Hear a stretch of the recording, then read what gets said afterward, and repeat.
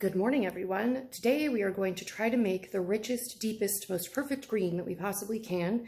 I'm going to be using goldenrod as the first attempt because the goldenrod uh, was the yellowest yellow thing I've ever seen in my life, and I would love to not have to deal with the weld again. So we'll be doing some Saxon blue today and monitoring our different greens that we get from our Saxon blue. If we need to add another uh, color like cutch or avocado, or not avocado, um, pomegranate skins also make a yellowy green, and those also can be overdyed in the Saxon. Uh, but now at this point, we're waiting for more silk because I bought uh, more silk and I've used all the silk. We're at seven yards. Um, I am a little proud of it, but I'm also a little not proud. It's like $160 in silk, so it's all good. You can learn from my mistakes so you don't have to use all seven yards on something you don't want when you buy silk. Okay, let's try it. Okay, I put what I would describe as two and a half droppers full of the Saxon Blue. I'm going to start there and add more color rather than try to exhaust the dye bath because we all know how good I am at that which is to say not. So that's two and a half droppers full of Saxon Blue in probably about a gallon-ish of water, gallon and a half maybe.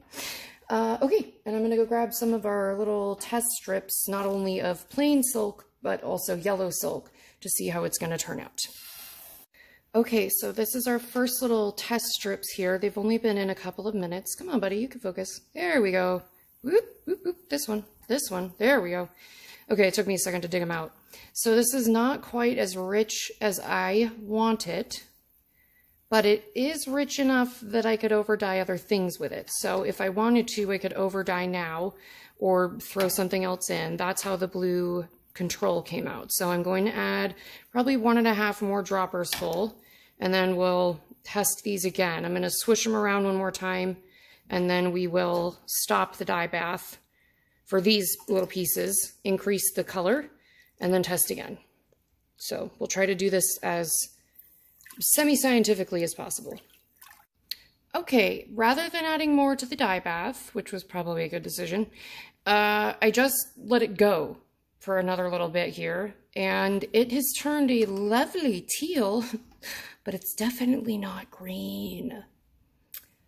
Am I gonna have to actually buy indigo to make real green?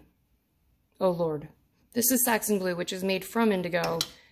But uh, anyway, uh, while that's doing that, and I will make I will make yellow, or I guess teal today, we're going to turn this into kind of a uh, Saxon Blue overdyeing experiment. So I have, oops, I have here some really great, perfect red cochineal that I took out of the dye bath. That's a pretty primary blue. That's not bad. You would think that it would turn the yellow green. Well, anyway, I figured I would throw this in uh, and let the dye bath use some of it up and kind of turn this into a color change experiment. And I will go get some more yellow uh, and we'll see what we can come up with here. Maybe if it was more into an oak gall tannin, it would be more sad looking. I wonder. All right, I'm going to let these roll around in here, and I will update you if I add anything or pull anything out of our Saxon Blue over dye experiment for the day. Okay, there is a brief moment in time when it is almost the correct green. So I just have to aggressively monitor this before it turns blue. And then it will be green. That's not stressful at all. Yet again, made too strong of a dye bath. Oi polloi. The red has come out. Oh, oh god. I really lose things in this pot. Uh, a beautiful deep uh, purpley maroon. Very nice. So this is, I mean, it's working great, like just like it should. It's just terrifyingly fast and you have to be quick. Uh, you may not see me while I do the green because I'm afraid of ruining it. It's a really big piece of silk that I'm trying to make into a Lithuanian flag and I need the green. But this scares me, it's so strong. Maybe I'll exhaust it and make another teal. I don't know. Okay, so I am rinsing off all the overdyeing and every other thing that I threw in there. And the best screen I got, thank goodness, I uh, took it out when it looked more like this.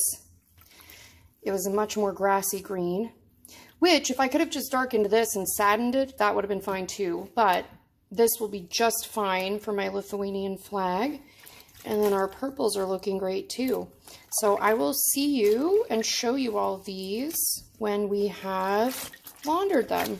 But right now they are getting their uh, wash in the super strong, uh, oh, for, for, goodness sakes, it's the quilt soap to help the, uh, the dye set in there. So anyway, we'll be giving this a good laundry. It's already been laundered multiple times, but I just put this big fatty in there, so he's dropping a lot of blue, as it were. But what a wild bowl. It's crazy in there. Okay, I will show you these when they're all... Hey, well, here is our wacky dye experiment. This did not go like I had planned. Uh, this is our Saxon Blue over dyeing onto silk. Now, these two, and all of these little aqua color ones, are from the very first dye vat, which I find even more strange, uh, because this looked straight up teal, and it was so dark.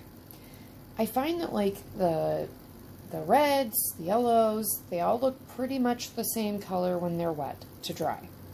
The greens and the blues are big fat liars. These looked so dark and so ready to come out, and they were dark when they were hanging, and now they are not. These um, greens. This one got stuck in first when I was testing it, and I was thinking, if I leave this in any longer, it will start to get teal. Because these, which were also yellow, like this one when they started, started to get really teal, and these had been uh, in there about three minutes longer. And I didn't want teal, I wanted hunter green. However, this is what I was getting. This was what I was getting after a couple more minutes. I didn't want this. What I thought I got in between those two was this. I, I might just re-dye this one for the heck of it and just stick it right back into the Saxon Blue and see if it does turn this teal or if I can get it to turn hunter green, maybe with some iron to sadden it. Uh, these ones were uh, bright red tin treated cochineal for making the red strip of my Lithuanian flag project. These ones in longer, obviously, than this one, because I lost them in the bottom of the pot. These ones, forgotten in the bottom of the pot for the duration of the entire bath. Didn't pull them out to the end. These are the only ones that are a true purple. But sometimes it uptakes the dye and it doesn't ever get any darker, no matter how long you stir it. It doesn't seem, these are all alum mordanted. It, it seems to be a very, if you're really trying to go for a color, it's a very unpredictable dye bath. because it seems to change literally fabric to fabric, the uh, density of the dye. So I might try to make a really, really heavy dye and see if I can get either of these to turn hunter green tomorrow. These are beautiful. This was a fun experiment. This is just like a, a slightly darker cochineal. Honestly, it's just roughly more burgundy. I mean, it's beautiful. I'm not sad about it. This is like a wonderful blue grayish purple. It's really more purpley gray. There, that's a better light balance. Anyway, and then these ones were all just the controls of the blue. And none of them are as incredibly dark blue as they looked when I put them in there. So these may get a redye, and I will probably do a short of that rather than a whole nother video. But I sincerely appreciate you coming along. If you would be so kind, uh, check out my Patreon where I have tons of videos and blog entries and stuff about me as a person, and it's a really great community. And I thank my patrons especially for helping me as I transition to all different kinds of fiber arts to learn them with you. Um, and I hope you will come to the next experiment. I'll see you on the other side. Bye!